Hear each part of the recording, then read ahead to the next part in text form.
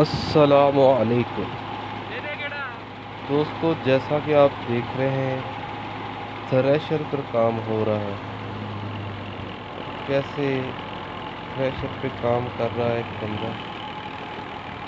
आज की वीडियो बनाने का मकसद आप लोगों को इसके बारे में मालूम देना है कि ये कितना आसान और कितना मुश्किल काम है। तो आइए चलते हैं बात करते हैं एक भाई से कि वो क्या कहते हैं इस काम के बारे में उनके ख्याल सुनते हैं। भाई साहब कितना अर्सा हो गया काम करते ये तकरीबन पाँच छः साल हो गए ये काम करते हैं कैशर का। अच्छा तो पाँच छः साल में कितना फ़र्क पड़ा है आप समझते हैं? पाँच छः साल में काफ़ी फ़र्क पड़ गया क्योंकि कुछ हार्वेस्टर वगैरह भी आ गई हैं।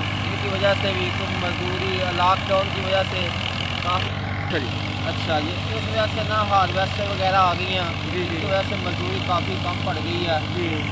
तो हार्वेस्टर वगैरह और पहले फ़ैशन में काफ़ी काम चल जाता था अब काम नहीं चलता क्योंकि कुछ महँगाई इतनी हो गई है। महँगाई की वजह से ना खाने का कोई रोज़ों का रोज़ों की वजह हाँ जी।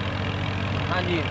तो मैं कह रहा था मैं कह रहा था कि मजदूरी के बारे में मजदूरी आप लोगों को पता है कि मजदूरी बहुत कम हो गई है।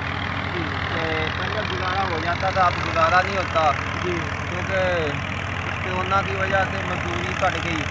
तो लोग शहर से आए मजदूरी करने के लिए कारोबार बंद पड़े हुए हैं। इनकी वजह से काफ़ी मुतासर हो रही हैं। महँगाई तो मेरा तो आपका कितना एक्सपीरियंस है इस काम में? मेरा तकरीबन मुझे छः सात साल हो गए यही काम करते हुए। अच्छा। थ्रेशर पे आप कौन सा काम करते हैं? मैं तो गाला वगैरह लगाता हूँ फ्रेश के ऊपर। अच्छा। तो इस वजह से। तो कितने दाने बना लेते हैं आप? दाने तो पहले तो तकरीबन काफ़ी बन जाते थे। अच्छा मौसम के बारे में कुछ बताएँ मौसम के बारे में यही मैं कहना चाहूँगा गंदम की कटाई तकरीबन एक माह पहले हो गई है। जी। पहले तो इतनी गर्मी होती है अब कटाई अच्छी गर्मी है। जी। गंदम की। तो अब इतनी सर्दी रात को तो ऐसे लग रहा है जैसे रजाइयाँ लेके कनक को निकालना पड़ेगा ऐसा दिन आ जाना मुझे तो लग रहा है कि जस्सी वगैरह चादरें वगैरह लेके निकालनी पड़ेगी तो अब मौसम इतना ठंडा कि कनकें वगैरह ना निकल रही है ना हो सही है तो पहले तो गर्मी इतनी पड़ती थी कि काम होता ही था इतना गर्मी वगैरह है तो मौसम काफ़ी गंदा पहले कटाई हो गई है सही एक माह तो इस वजह से ना काफ़ी।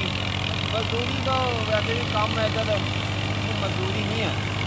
ये लोग कहते हैं ना, मजदूरी होगी मजदूरी, इतनी मजदूरी नहीं है यहाँ पे तो मैं तो यही कहना चाहूँगा कि जितना इधर काम होता है ना तो मजदूरी ज़्यादा होना चाहिए।